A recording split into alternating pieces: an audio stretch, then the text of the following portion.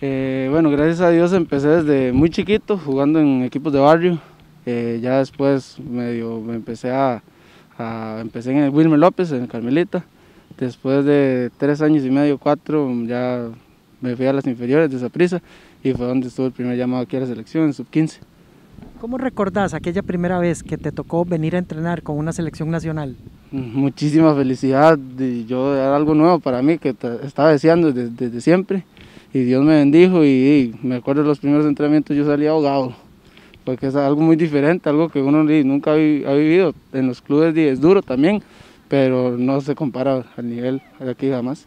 Bueno, y desde entonces te convertiste en un nombre eh, habitual en las convocatorias de las selecciones a partir de la sub-15 hasta ahora esta selección sub-20.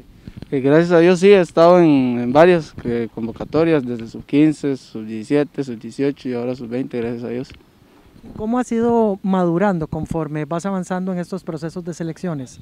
Yo siento que futbolísticamente y personalmente he madurado mucho, porque aquí, bueno, los profesores lo ayudan mucho uno en lo que es futbolísticamente y más como persona, porque igual uno sale aquí y, además de ser un jugador, uno es persona, entonces tiene que saber cómo comportarse afuera y todo, y con la familia.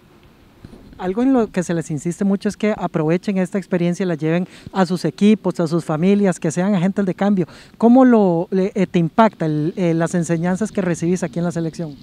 de un impacto que es muy grande el impacto de aquí porque bueno como les estaba diciendo ahorita uno sale de aquí y bueno ya la, gente que lo conoce o lo va conociendo poco a poco hablan este jugador de selección este jugador de aquí de allá entonces uno tiene que dar buena imagen aunque no esté aquí adentro pero la gente siempre igual siempre va a estar hablando de uno y bueno, ¿qué metas tenés eh, a corto y largo plazo en tu carrera futbolística que apenas empieza? Eh, tengo muchas metas a corto plazo, bueno, la, meta yo creo que cualquier jugador es salir del país o debutar en primera y si no, digamos, si no sea debutar en primera, salir del país o, o cosas así, mantenerme en la selección nacional también. De momento has tenido una gran oportunidad de eh, mantenerte con ritmo jugando en el equipo de Liberia, eh, lo cual por supuesto te permite eh, físicamente mantenerte incluso en estos meses que no todos los muchachos han podido tener actividad. Claro, claro, es una bendición que, me llegó porque ya llevaba bastantillo tiempo de, bueno, venía a entrenar aquí, pero no tenía todavía participación porque las ligas menores están paradas y entonces llegó la oportunidad y yo la, agarré y digo, gracias a Dios estoy jugando y yo siento que estoy haciendo las cosas bien.